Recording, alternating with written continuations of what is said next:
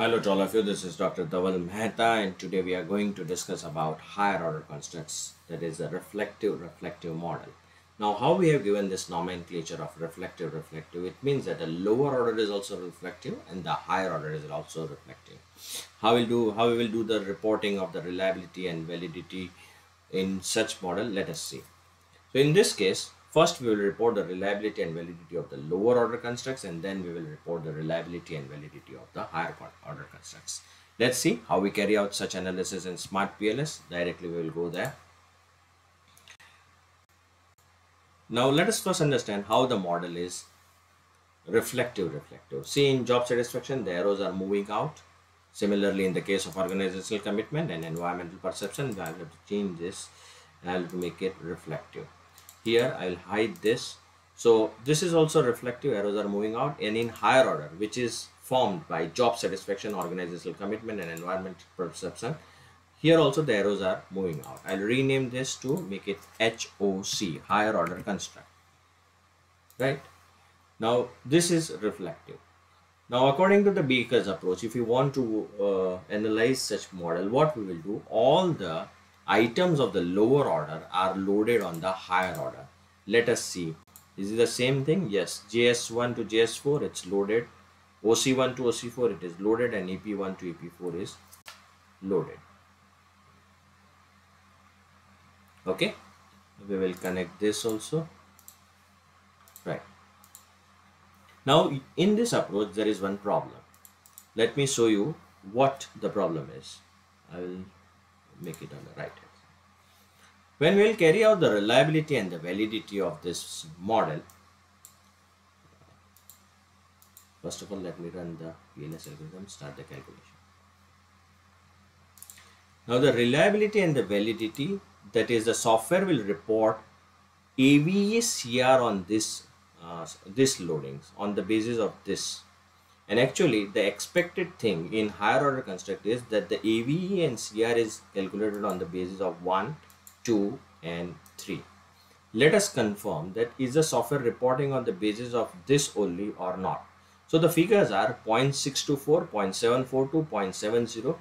When I feed this figure manually, I will get AVE 0.347 and composite reliability 0.856. Let me check is it the same thing I'll go in PLS algorithm and I'll go in construct reliability and validity and let me see this. Yes, the figure is same. Now this is problematic. I cannot report this figure. Fine.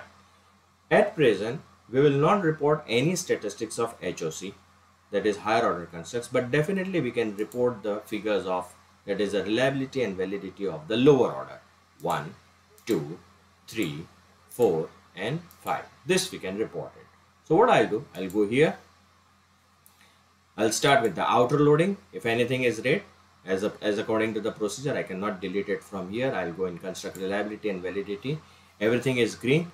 So co-workers, I can report environmental perception, I can report HOC, I cannot report job satisfaction, I cannot, uh, sorry, I can report organizational commitment, I can report staying intention, I, I can report. Similarly, I'll go in discriminant validity and uh, HOC is not reported. Diagonally, the values of all others should be more, should be highest. If we achieve this, then we have achieved discriminant validity. Then we will report HTMT, HOC, higher order constructs. Again, it will not be reported. For all others, the value should be less than 0.85. If we achieve this, then the discriminant validity is achieved. Then we will go in collinearity statistics. The VIF should be less than 3. In inner also, VIF should be here HOC cannot be reported. The value uh, HOC value cannot be reported. Now what to do? Manually we can calculate this thing. Point we will enter 0.467 0.795 0.832 manually I can calculate it. Let's see. So when I enter this 0.467 0.795 0.83 I get AV as 0.51 and 0.750 but there is one more method also. The method is, let us go there. And in PLS algorithm, the when I click on latent variable, this scores will be there. The latent scores will be there. I will say copy to clipboard in Excel format.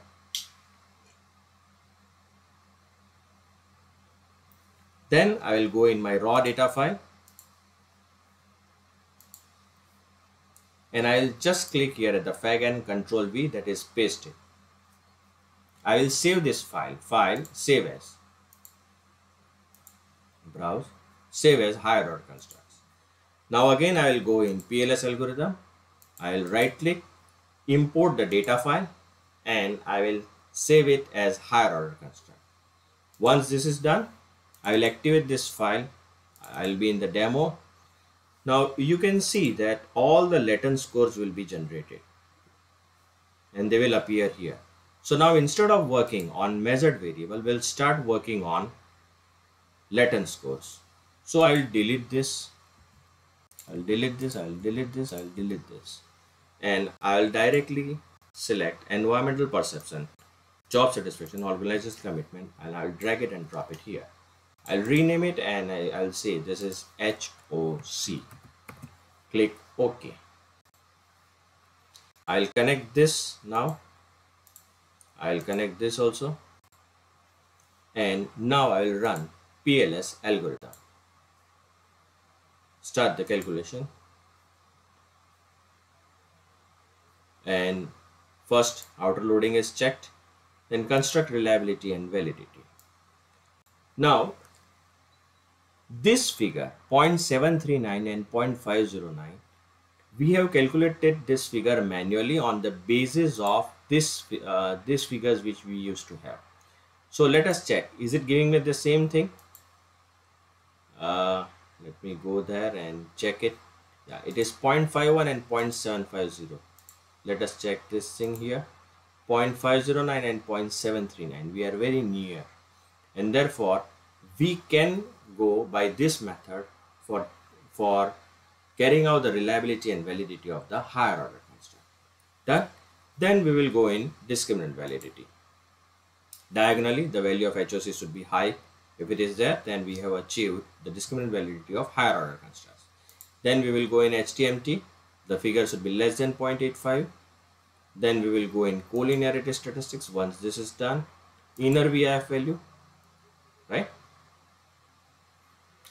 Then once we have achieved the reliability and the validity of the measurement model, now it's that now we should carry out the assessment of the structural model. So we will go and calculate bootstrapping, start the calculation.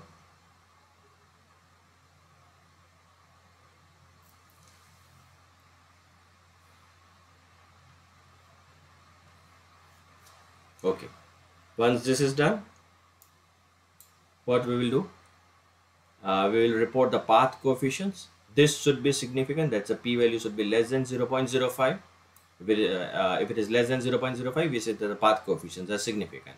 The same thing we can confirm by confidence intervals bias is corrected. There should not be any presence of zero in between these two confidence interval so positive to positive zero not present positive to positive zero not present positive to positive zero not present. It means that the absence of 0 means that this path coefficients are significant. Fine. This we can confirm from here also. We can report the model from here also. From PLS algorithm, we will report R square. Then we will report F square. Then we can report model fit from here. So this was all about reflective reflective. You can subscribe to my channel. You can follow me on LinkedIn and Twitter.